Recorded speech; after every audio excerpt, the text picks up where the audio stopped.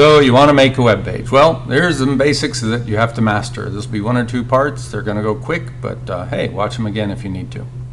First thing you want to do is open up Notepad. And it could be Notepad++ or an editor or whatever, but we're going to start with simple, good old Notepad.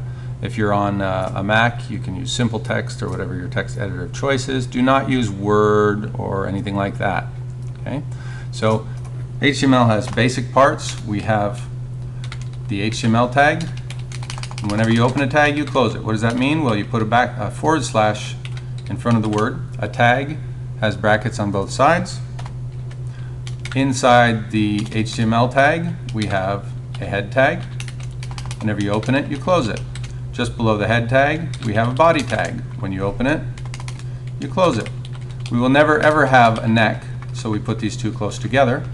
And we'll never ever have anything after the body, so we'll put those together. And then we'll leave a lot of space where we're going to have most of our stuff in here. We're going to have a little bit of stuff in the head, so we'll leave some space there. And then the head must always have a title, so we'll indent that a little, put title. Again, whenever we open, we also close. Note I'm matching my indents. And then title will put my first web page.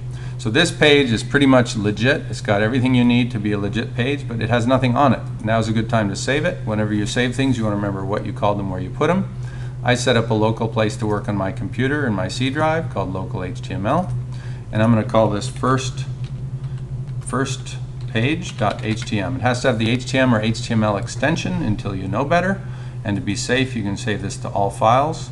You save it, and here's your page. Now what does it look like? We'll go look in there and double click and it looks like nothing. What does that mean? Well, you haven't done anything with it. It is a valid page. It even says up here, my first web page. However, there's nothing on it. So let's go add just some very basics to it. We'll add a title, I mean a heading, so H1. Whoa, I feel good. Tribute to James Brown. We close the H1. It does not care about spaces or carriage returns or any of that, so you can do it in a lot of different ways. I'm going to try and keep it clean. Control S to save it, go back to the browser, F5 to refresh, and there we have a heading.